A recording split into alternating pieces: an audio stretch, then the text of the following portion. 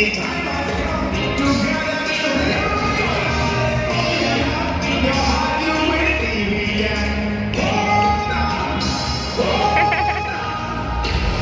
Here's the key, philosophy.